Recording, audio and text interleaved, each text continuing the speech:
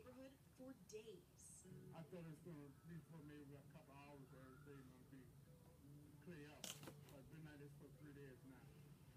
leaving behind a waterlogged length of road impassable for some. So I see they come up to the corner, they turn around, and go back the other way.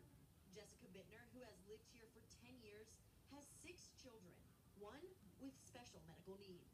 If we had an emergency, how would emergency vehicles get through all this water? It was crazy. And what is causing the craziness aside from the rain? The general manager of this development tells us these are public roads. This hasn't moved since yesterday. The water is supposed to drain into a dam and then into the surrounding lakes, but the lakes are overflowing. At this point, I don't think there's really much that can be done. She may have a point, but the GM says county employees have been in the area. We spoke to them on the phone today, and they tell us they were here last night and this morning, and they're dealing with personal property damage first. The best advice? And the water's not going anywhere, so might be best to stay home.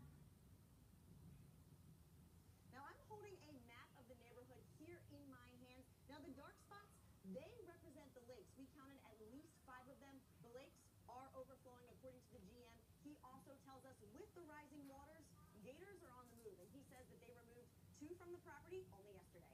I'm reporting live here in Port Charlotte. Gabrielle Shirley, NBC2. Yeah, keep an eye out for those gators. You. Look at this. Heavy rains